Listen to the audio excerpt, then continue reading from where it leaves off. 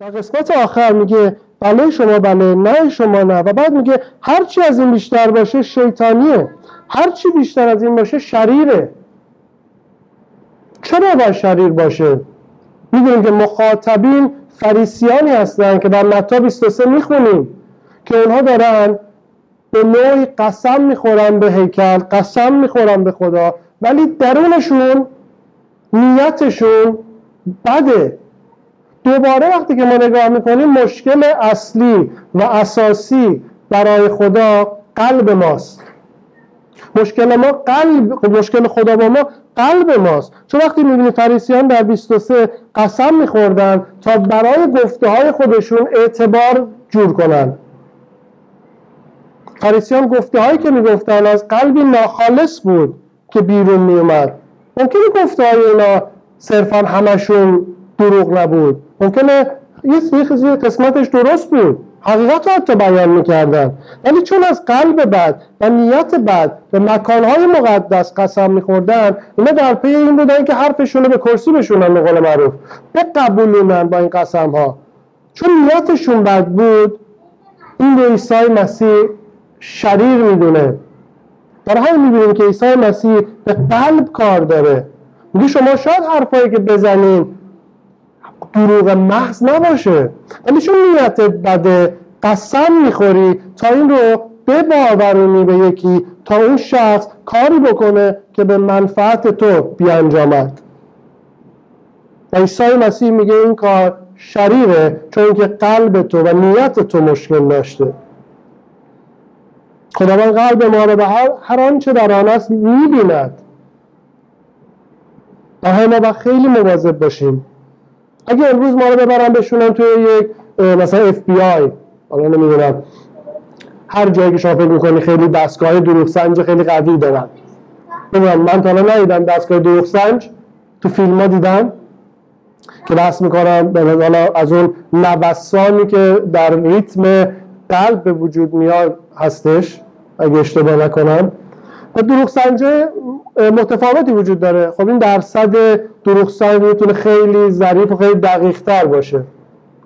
جالب اینه که ما بدونیم که همیشه یکی بالا سر ما هست به نام خدا که دقیق ترین دروغ سنجه یعنی ما صرفا نیستش که ما رو بیان بگیرن ببرن یه جا توی اتاق دم دستگاه بزنن ببینن ما دروغ گفتیم یا نه.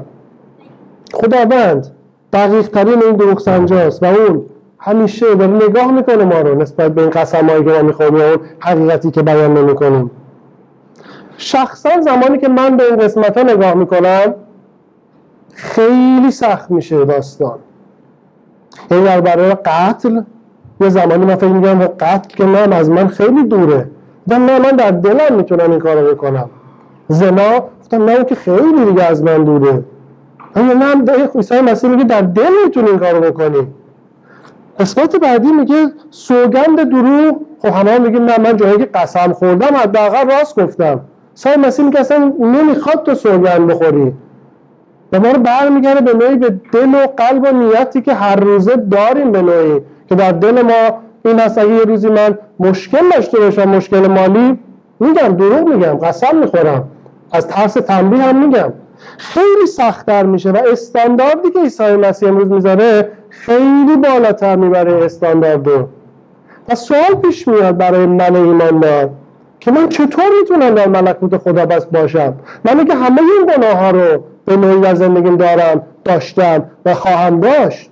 چطور می‌تونم پس با این استاندارد برم در حضور خدا و بگم این چیزی که تو گذاشتی رو من همش شکوندم ولی بیا با هم دوست باشیم؟ نمیشه. یعنی عقل خود ما میگه نمیشه. مزمور 15 میگه ای خداوند کیست که در خیمه تو فرود آید و کیست که در کوه مقدس تو ساکن گردد؟ مزمور هم به میگه کی می‌تونه؟ کی می‌تونه بیاد تو خونه تو که مقدسه باشه اگر اون شخص مقدس نباشه؟ چطور میشه یک گناهکار با خدای مقدس رابطه داشته باشه؟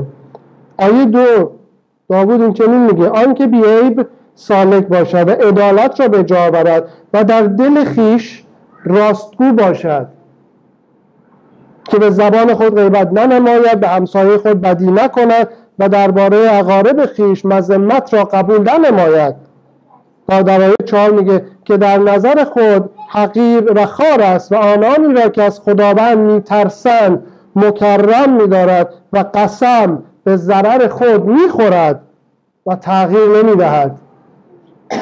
میگه چنین کسی می‌تونه در حضور تو باشه.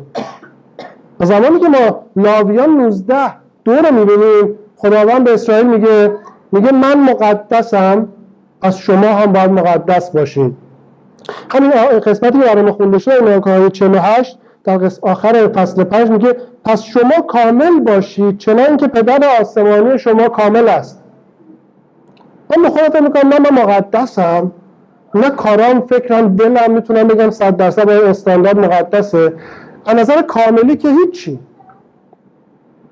چطور می‌تونم که با این استانداردی که خدا می‌ذاره من بتونم در حضور خدا باشم؟ و سوال پیش میاد که آیا ما طبق این استاندارد عمل کردیم؟ کلام خدا در رومیان فصل سه میگه نه هیچکی هیچکی نمی‌تونه با این استاندارد خودش رو به ملکوت خدا ببره. چون هیچکی نمی‌تونه اونجور که کلام خدا می‌خواد زندگی کنه.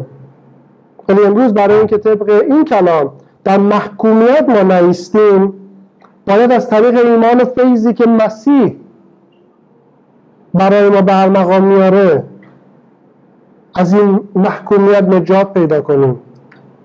هیچ کس نمی‌تونه طبق این استانداردها با خدا خودش رو تطبیق بده. اگه شما قبول دارید و قبول دارید که همیشه حقیقت رو نگفتید خشم داشتید به نوعی زنا کردید شهوتی که راجبش صحبت کردیم بوده محبت کامل در شما نبوده. امروز خبر خوش اینه که امیدی هست برای ما.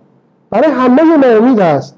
و امید اینه که عیسی مسیح می‌تونه شما رو و همه ما رو از این گناهان پاک کنه. او روی صلیب قربانی شد برای همین کار.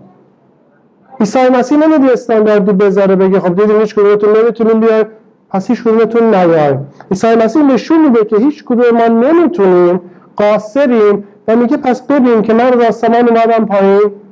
منی که کامل بودم منی که مقدس بودم بیگناه بودم روی صلیب خونم رو ریختم تا امروز توسط ایمانی که تو در من می‌ذاری بتونی با استاندارد خدا مطابقت کنی.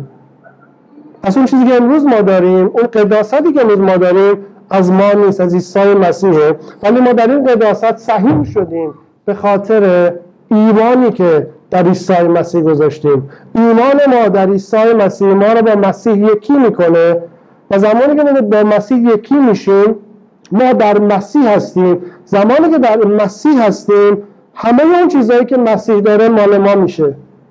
و مسیح سخاوتمندانه هر چیزی که داره رو میده به ما. قداستش، کمالش، حکمتش روح مقدسش رو ما میده.